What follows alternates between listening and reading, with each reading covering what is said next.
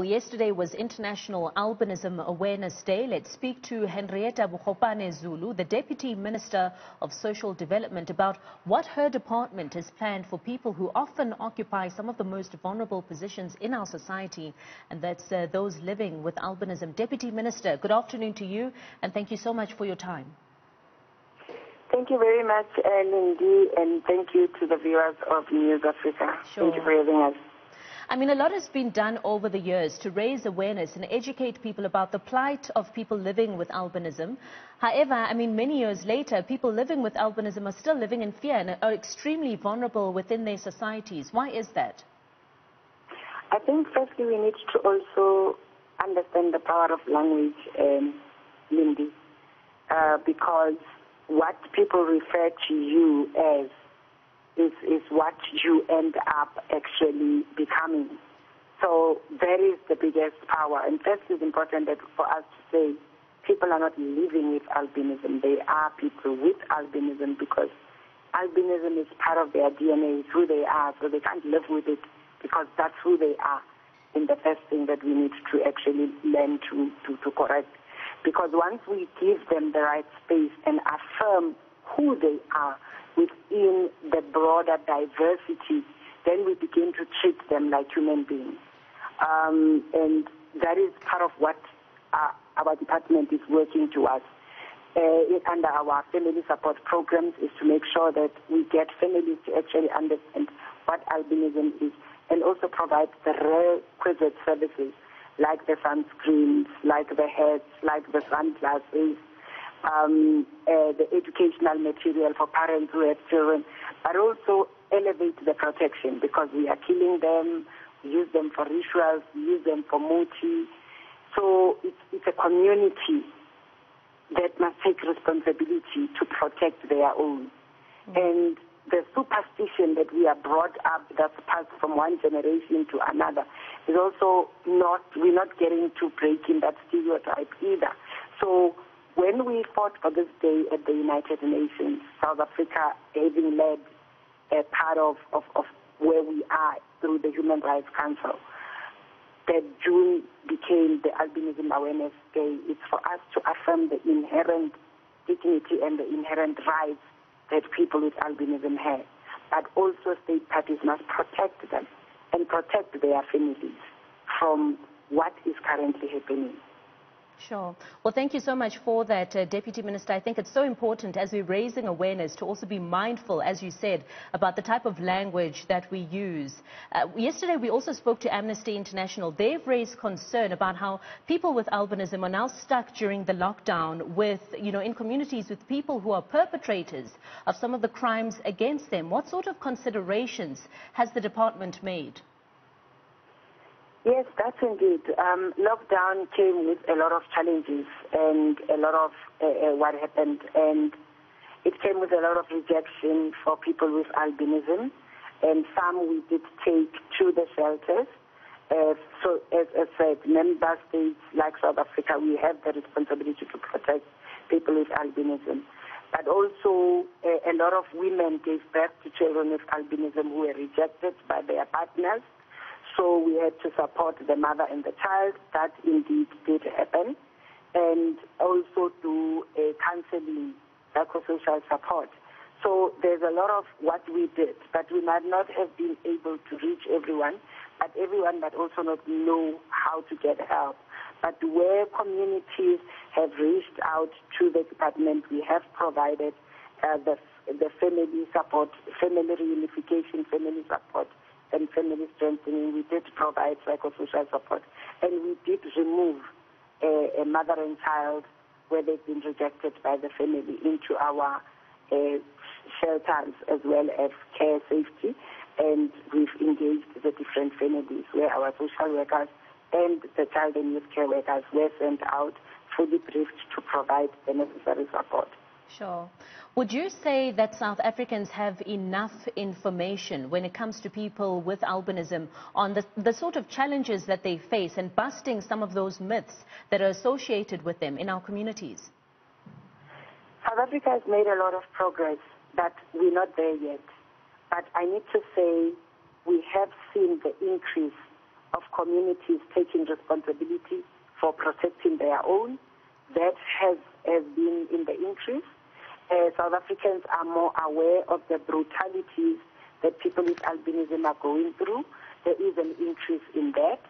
And also South Africans are more supportive uh, towards people with albinism. There is been a, a rise in that. And also through the awareness campaigns that Albinism Society of South Africa, the Department of Arts and Culture, as well as ourselves, and now we've added the presidency through the Ministry of Women, um, Youth and Persons with Disabilities. Together, we have managed to actually do campaigns that have given South Africans a lot of information.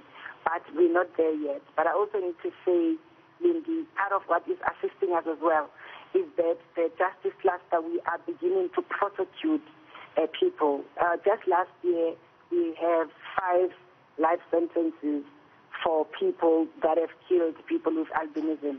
Unlike in the past when you went to go and report and the police would be like, Amara, sister, you know, he disappeared, so why are you bothering us? Mm. And even the police are now, the campaign that SAPS has run and the posters that we developed together that are in all the charge offices across the country, uh, it has raised the awareness that it's important that unlike like when I am missing or you are missing, Lindi, uh, you've got to be report, you know, the police starts worrying after 48 hours.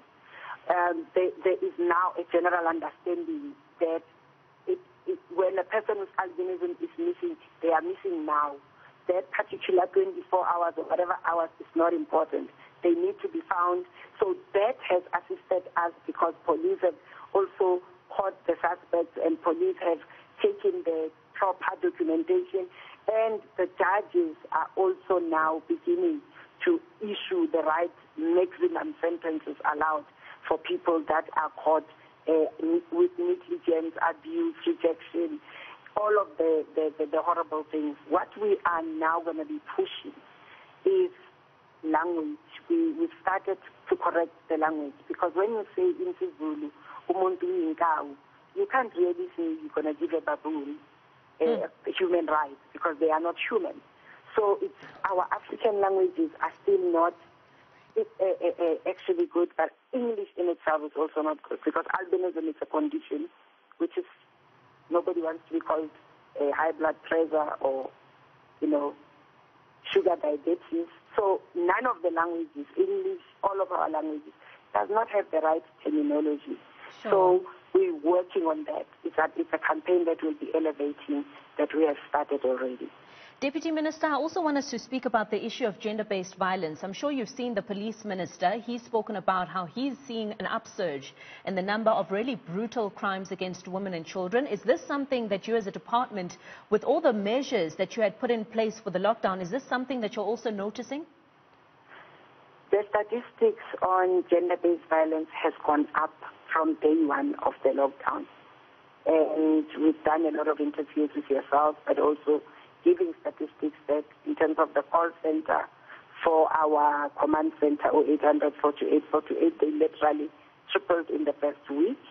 Um, we launched uh, the support for men, the 0800 150 150. In three days, we had received um, more than 9,000 WhatsApp, like, need help. What is now in the increase and what South Africa must be concerned is the brutality is just a bit unbearable. It's too much. It's inhuman. And we as a department are just in shock because sure. we're now trying to establish what are the issues because we know that the pressure, people are losing jobs, the families are disintegrating, people are leaving their homes, um, there's the whole big fight around children, which we are also intervening on between the two parents. And there is a, a, a elevated stress as we speak right now with the uncertainty of do I have a job tomorrow?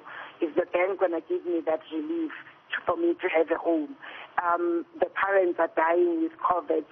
Uh, the one parent is dying, the other one is left with the kids. So as a department, we are dealing with a lot of trauma.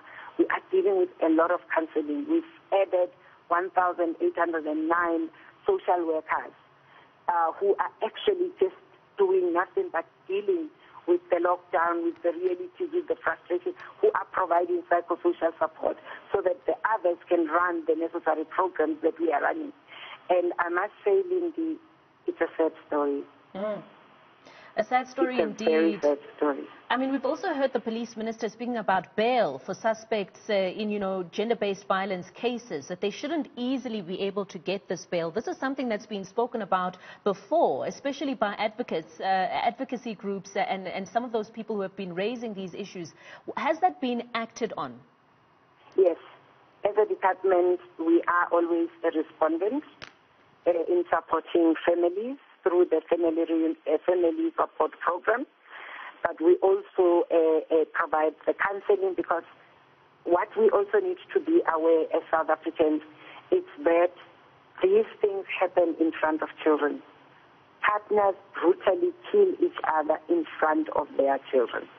And we then have to also step in to provide the psychosocial support, provide the support for the family, prepare the witnesses for court, and at the same time we interact because we've got a, an, what we call an interdepartmental gender-based violence coordinating forum where they meet every second week to actually make sure that we know what the cases, where are they, and the support that is needed. But the brutality and the cruelty and the scars that are left, it's something that the department will be left with and dealing with a long time after. Sure.